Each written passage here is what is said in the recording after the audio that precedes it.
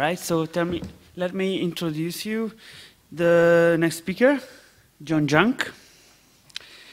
He is an interdisciplinary scholar, I would say. He is the director of interdisciplinary science at the University of Delaware. He uh, teaches biology, but also has appointments in mathematics and bioinformatics.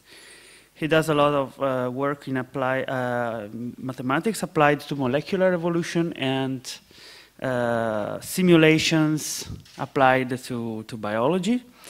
And uh, he has other interests in uh, biology education, which is very interesting.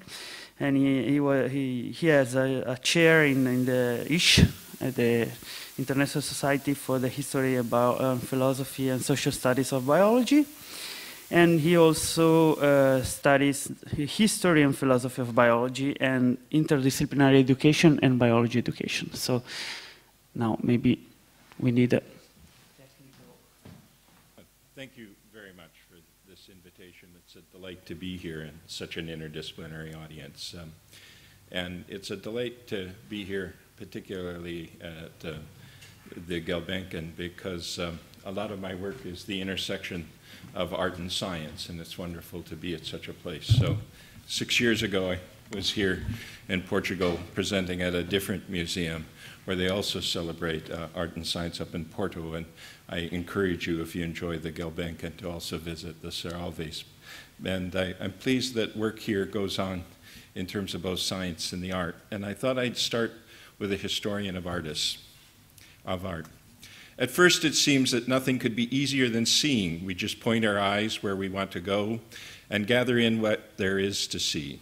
Nothing could be less in need of explanation.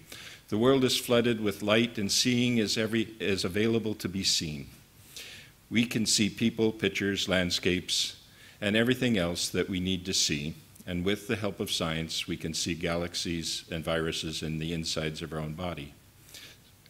Seeing does not interfere with the world or take anything from it, and it does not hurt or damage anything. Seeing is detached and efficient and rational Unlike the stomach or the heart, eyes are our own to command. They obey every desire and thought. I thought it was important you mentioned landscape because I want to talk today about landscapes and morpho spaces. Each of those ideas is completely wrong. The truth is more difficult. Seeing is irrational, inconsistent, and undependable. It's immensely troubled, cousin to blindness and sexuality, caught up in the threads of the unconscious. Our eyes are not ours to command. They roam where they will, and then they tell us they have only been where we have seen them, we have sent them. No matter how hard we look, we have very little of what we look at. We see very little of what we look at. If we imagine the eyes as navigational devices, we do so in order not to come to terms with what seeing really is. Seeing is like hunting and like dreaming, and even like falling in love. It's entangled in the passions, jealousy, violence, possessiveness, and is soaked in affect, in pleasure and displeasure, and in pain. Ultimately, seeing alters the thing that is seen and transforms the seer. Seeing is metamorphosis, not mechanism. Um, I'm very much influenced by one of Michael's colleagues, Dolf Seilacher. And he says, I wouldn't have seen it if I hadn't believed it it's embarrassing to be a theoretician in front of many of you after seeing so much wonderful empirical model, but I was delighted that Michael emphasized that we as mathematical modelers do contribute something to these kind of fields. And it's uh, difficult sometimes going the second day because you've already seen uh, Alex Mesoudi uh, showed us adaptive landscapes of fitness versus the height and width of arrowheads. Damian Ortiz Rodriguez uh, showed us morphospaces and state spaces. And um, some of the other kinds of things, Quentin Atkinson with splits trees, and Mark Haber with coalescence, David Vecchi with the slot machine metaphor, and Michael not only had uh, dinosaur PCA morphospaces. I have the same slide in my collection today, unfortunately, or fortunately, but he also talked about the Ornstein-Uhlenbeck model for attractor and uh, optimization. So um, I hope I simply will convince you that mathematics is a lens that helps us to see, and it helps us particularly look at what is hidden in plain view. And that every image uh, offers an opportunity for us to test hypotheses and to infer something about causal mechanisms. And um, I'm particularly uh, influenced by that we would explore some of these uh, morphospaces and adaptive landscapes, uh, biorthogonal transformations, and um, I decided I won't deal with nullomers in uh, terms of looking at so many things. But I'm very much taking a, a note from our leader here, uh, Professor Nathalie Gontier, who uh, wrote a wonderful paper recently reviewing the history of uh, phylogenetic trees and asked the question of why have such tree iconography been so important and so widely used within the kind of uh, biological research domain. Uh, uh, she's somewhat anticipated by Michael Brady, who spoke yesterday, 1993, a wonderful paper he gave at Brandeis on uh, trees as tropes, uh, greatly influenced me in my career. So that I also want to insert that Donna Haraway says you have to love something deeply to be able to critique it well. And so I want you to appreciate um, that some of these models that have been persistent, uh, why are they beautiful and powerful, and how has their diversity kind of informed what we do, before finishing with a strong critique, because I do love them, but of course, every modeler knows that every model we build is false. We know that before we even begin it. We had to make all kinds of simplifications. But I love a paper by the philosopher Bill Wimsatt who said, false models to be locally truer theories, that we have simple models that are extraordinarily robust.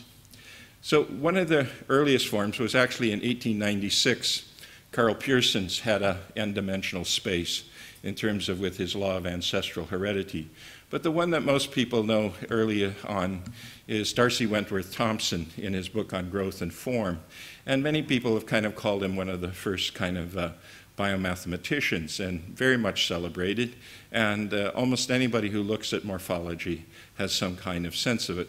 Uh, we unfortunately, uh, like Darwin, only think of him as the old man rather than the somewhat younger version, uh, walking along the, the rocks in um, the cliffs uh, of uh, St. Andrews and uh, Dundee in Scotland. And so here's the kind of thing that the transformation of one species morphology to another was this kind of rubberized graph paper that D'Arcy Thompson kind of invoked with doing these kinds of images. And uh, particularly somewhat disturbing was the, for many people to uh, look at our relationships to other um, uh, anthropoid apes. Um, but uh, he did not only deal with um, hard skeletons, he also dealt with uh, invertebrates and with plants. And um, that in terms of looking at uh, his work, that it came out in 1917, but it was actually when the reprinting in 1948 and uh, further development that had a major impact and uh, was uh, kind of picked up that uh, he was a uh, classical uh, scholar and in many cases a non-Darwinian. And somehow that in the post-neo-Darwinian synthesis, people picked him up in a very different kind of cast. And John Casti, in a wonderful article in Complexity, said, what if D'Arcy had had a computer? And two colleagues at um, St. Andrews University actually developed a quadratic kind of transformation.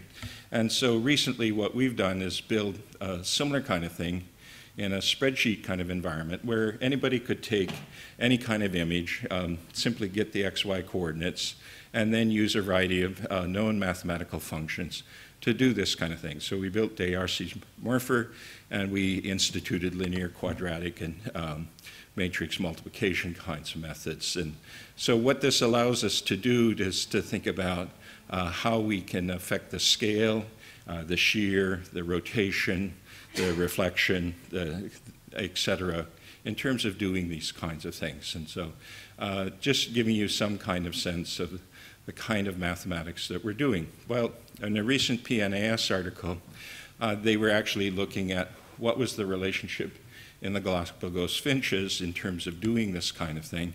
Uh, unfortunately, they used uh, just a, a, fairly standard uh, particular kind of uh, scale and shear without uh, some uh, other,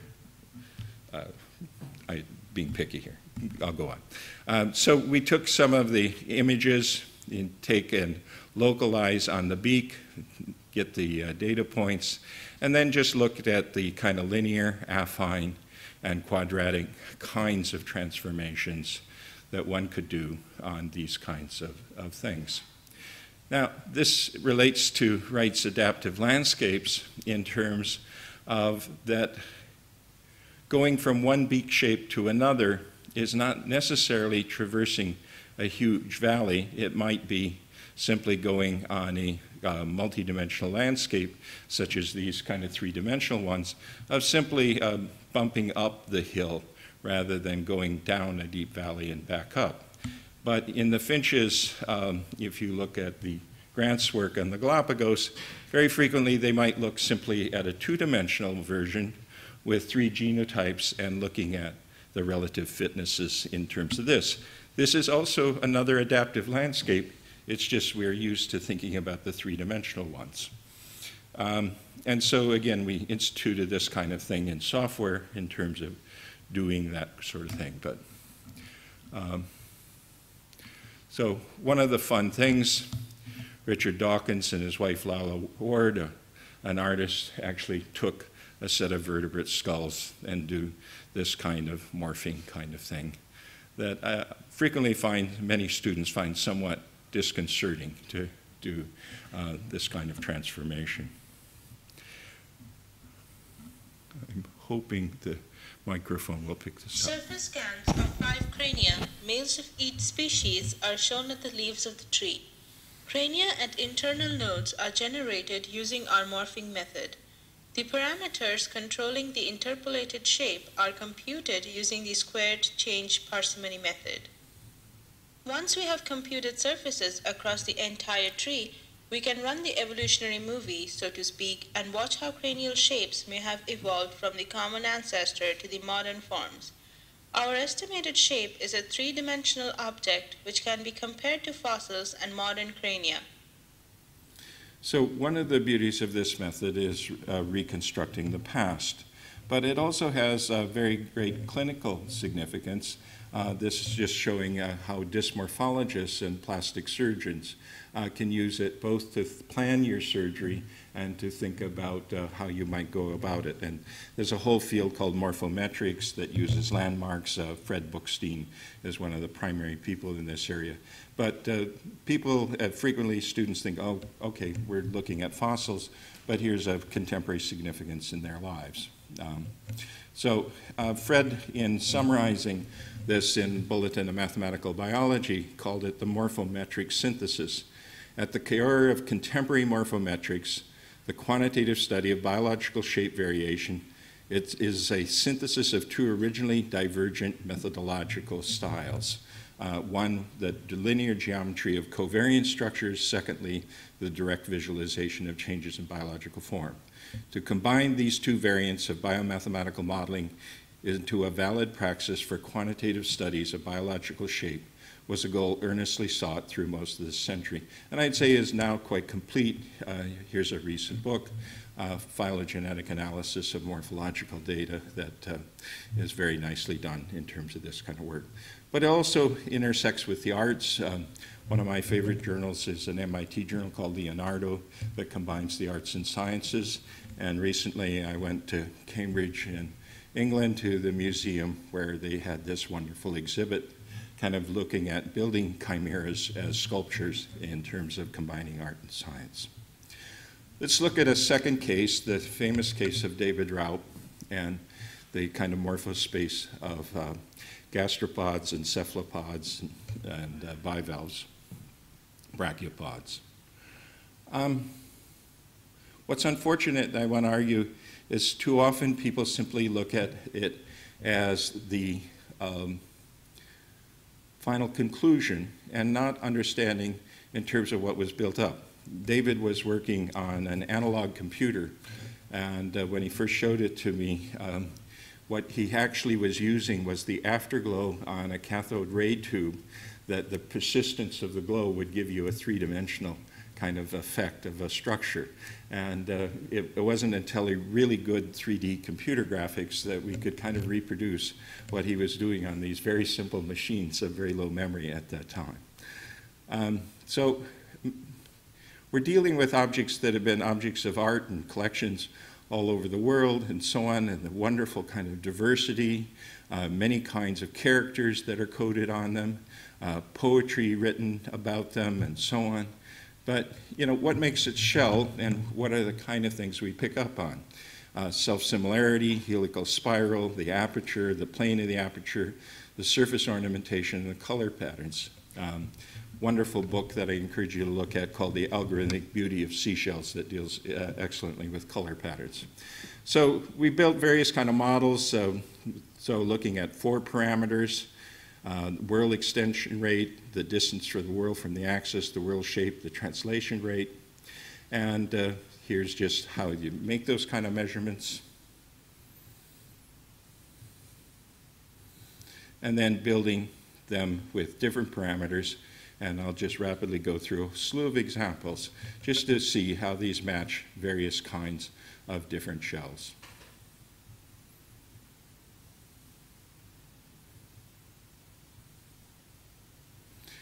When you go from four parameters to 16 parameters,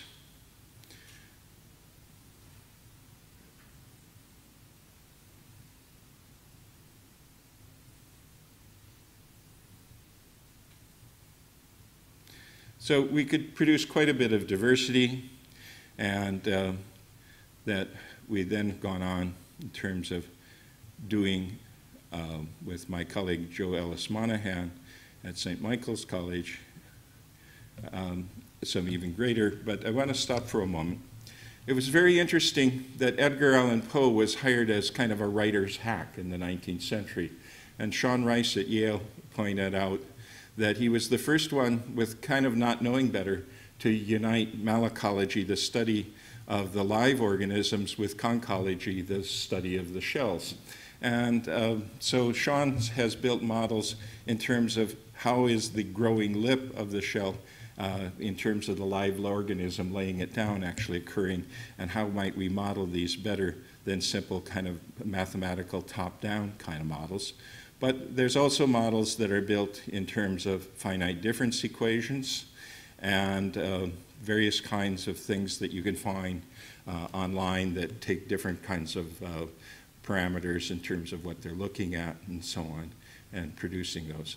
So Raup came up with this morphospace that uh, of these different kinds of forms that when we then plotted them onto extant and extinct forms that we found these four major classes of life. And uh, Richard Dawkins celebrated it as the museum of all shells in his Climbing Mount Improbable. Um, so more recently, uh, the Mathematics Association of America became uh, quite interested in this uh, in terms of illustrating it artistically, and uh, my close collaborator Jo Ellis Monaghan uh, and her colleagues uh, developed it. It's in an undergraduate mathematics applications journal I call UMAP in terms of looking at it and the code and so on. And so basically, um, in terms of uh, this kind of uh, model is it takes a frame of reference called a Frenet frame, and uh, then it builds this in terms of the three vectors that are involved, and you're sweeping out a curve in space in terms of doing this, and uh, you parameterize your model, and then looking at varying various ratios of these things, and you get some quite beautiful forms. The sculptor uh, George Hart um, has been doing 3D printing of these things, and he says he has the first truly logarithmic spiral that ever existed because none ever existed in nature. And, and you can begin to see, uh, you know, things that are more scallop-like and so on in terms of how we vary these kind of parameters and do these kind of things. Adding more effects, we can do ridges and ripples and so on. Um, but uh, one of the things is uh, it allows us, in terms of looking at that, to not only look at the spectrum of possible morphologies and the relationship between different species, but to reconstruct uh, partial uh, fossils from fragments and other kinds of things. Uh, it also informs us on how to measure in terms of our specimens, and so uh, there's been a standardization in terms of much of this kind of effort. And uh, so we can see a close parallel between actual shells and re recreated shells. And so it provides a nice early entry into mathematical modeling, and uh, it also provides openings for people to extend it with uh, other kinds of surface features and irregularities and so on. And uh, one of the things is that in looking at some of these kind of patterns, uh, we interact with other uh, reaction diffusion uh, kinds of models, and you'll probably hear more about that in some papers here at the meeting. Uh, but uh, also in terms of finding certain fossil specimens and certain live specimens in 2009, uh, there was a wonderful thing of the top 10 new species, and one of the wonderful uh, organisms was a snail that violated almost all of these kind of structures. And so uh, we also have a way of what, what are the hopeful monsters? What are, what are the things that kind of violate our models in terms of doing these things? Um, and modeling other kinds of aspects uh, as well in terms of the structures and, and so on uh, of these things. So there are many other uh, morphospaces. Uh, one of the most well worked out is that the foraminifera uh, have a very similar kind of morphospace. Uh, you're not too surprised, and uh, already Professor Benton uh, talked about this nice paper in terms of radiation with dinosaurs and a principal components model of looking at it. there's been catfish and other kinds of things of looking at these. So Secondly, I want to take you um, from the animal world to the plant world. And so if we look at trees, and uh, very unfortunately, it's usually hard to get people to look at winter trees without their leaves, but uh, actually naked trees are, are very nice for getting us to look at um, what is the phytoarchitecture of various kind of specimens and appealing to obviously photographic artists as well.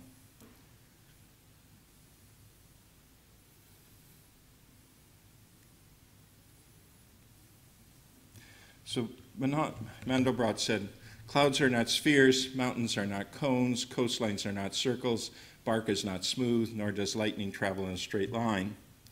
I was in Brussels and took this photograph, and uh, you know, who knows?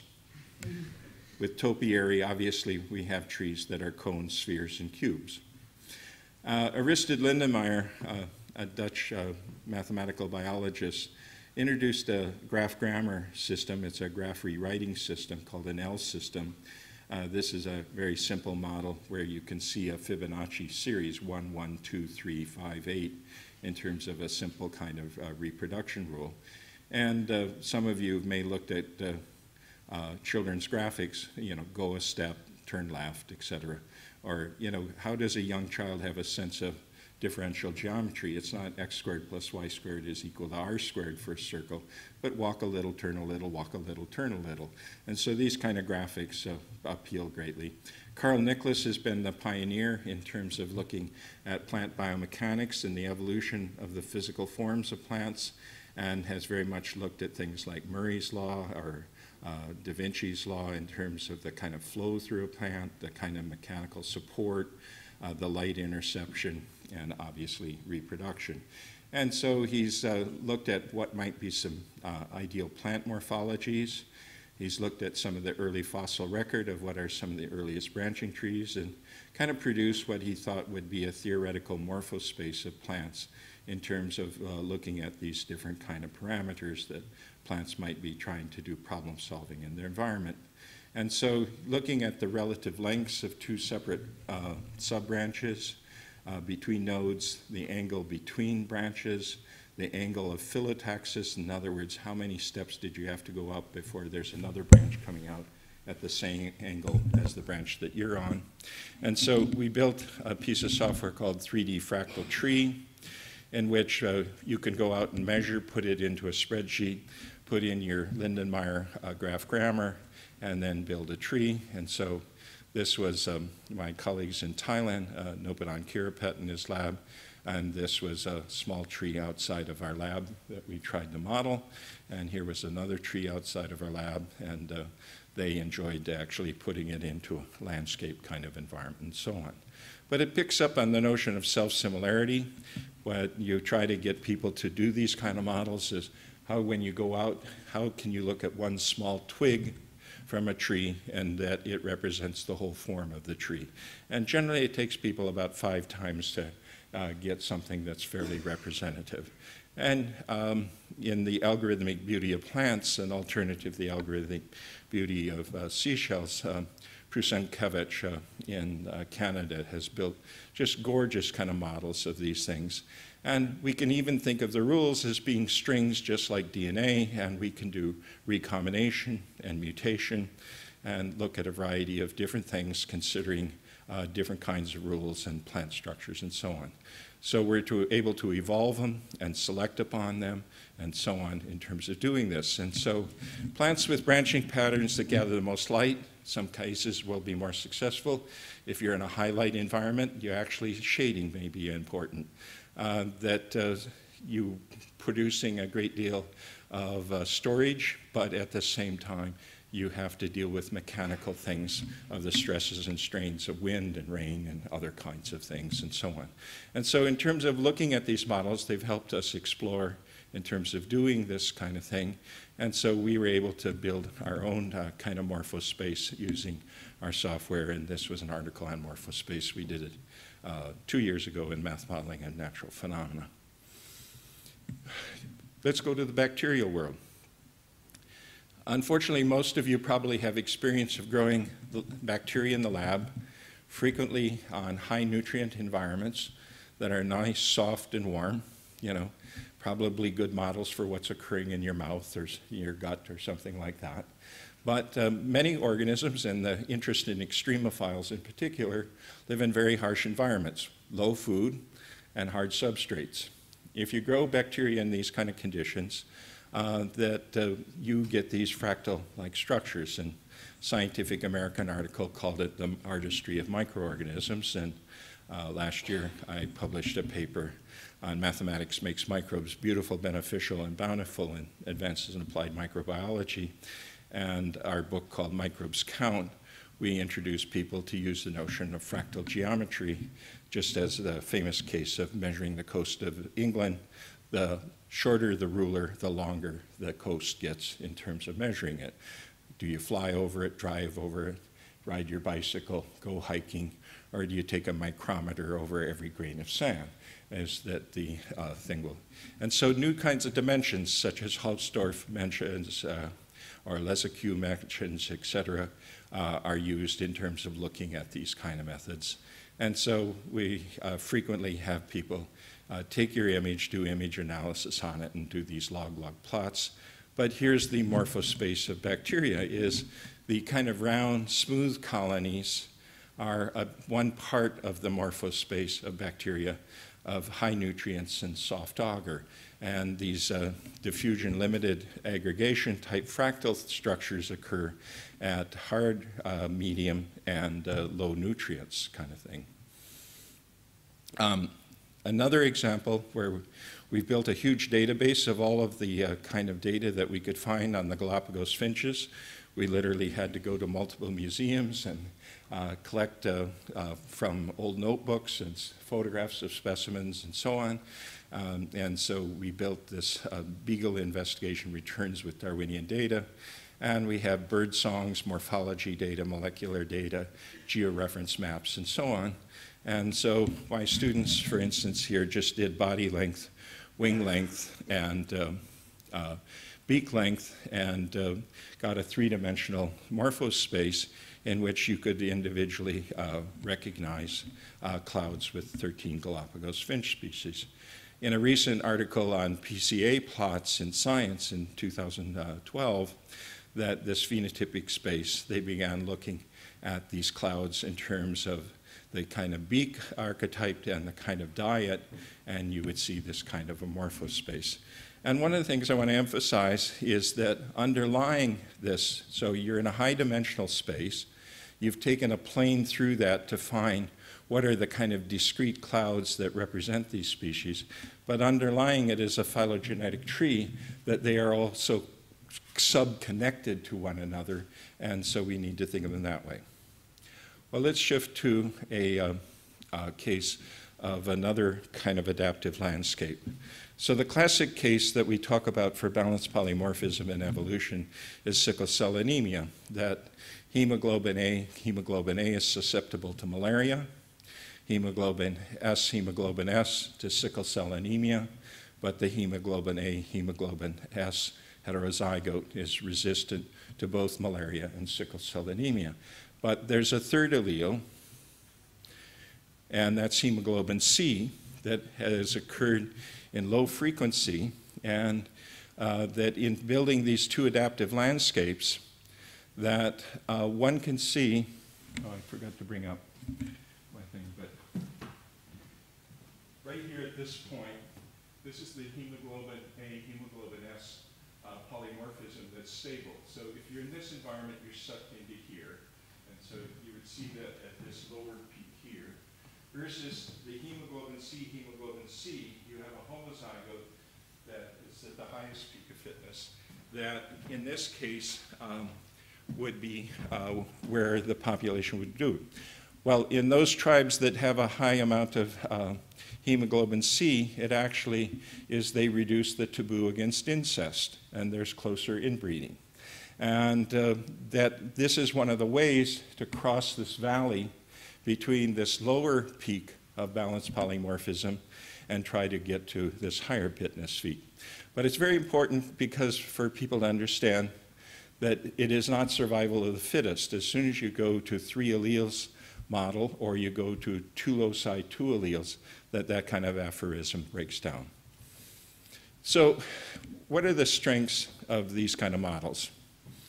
They continuously guide empirical research. They provide tools for testing hypotheses. They explain complex interactions between multiple evolutionary factors. They train biological intuition, identify crucial parameters and factors, evaluate relevant temporal and spatial scales, point to gaps in biological knowledge, and provide simple and intuitive tools and metaphors for thinking about complex phenomena. This is Sergei Gavrilets um, at the National Institute for Mathematical Biosciences Synthesis Center in Knoxville, Tennessee. Uh, but um, they also violate, uh, obey what I kind of look for in a mathematical model applied to biology. They account for phylogenetic diversity, they apply across broad temporal and spatial scales, and they frequently are the function of multiple causal mechanisms. And I think that's kind of crucial. There have been a couple of philosophical papers who have addressed uh, morpho uh, spaces and adaptive landscapes. Uh, so Gunther Eble says, given the dominance of adaptational thinking in evolutionary biology, exclusive focus on function often masks a plethora of evolutionary relevant questions such as heterochrony, heterotopy, uh, asymmetry of the amount of variation in developmental time, and links between phylogenetic and ontogenetic trends.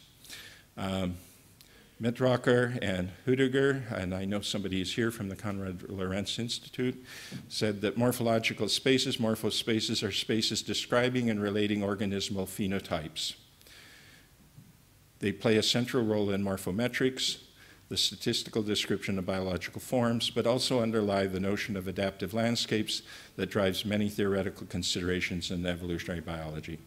The typical language of theoretical uh, and evolutionary biology comprising statements about the distance amongst phenotypes in an according space about, about different directions of evolution is not warranted for all types of morphospace. I want to pick up on both of those things.